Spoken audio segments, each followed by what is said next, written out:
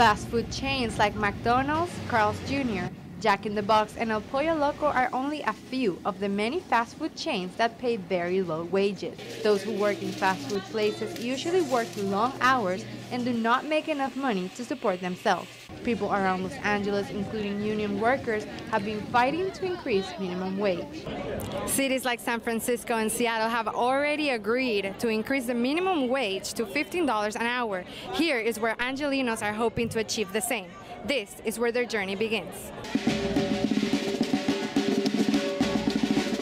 Hundreds of low-wage workers joined forces on April 14th to have minimum wage increased to $15 an hour. But what does an extra $5 an hour mean to these people? Their food, their care, the rent, utilities. It's a big change. Just that $5 increase will help families where some of them had to work two jobs. Now a lot of them don't because when you lift the floor, you definitely lift the ceiling.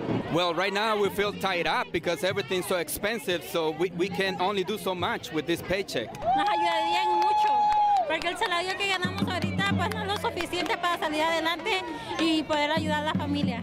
The rally started in Figueroa and ended in University of Southern California. No decisions have been made on whether the increase will happen or not, but people will not stand back until their voices are heard.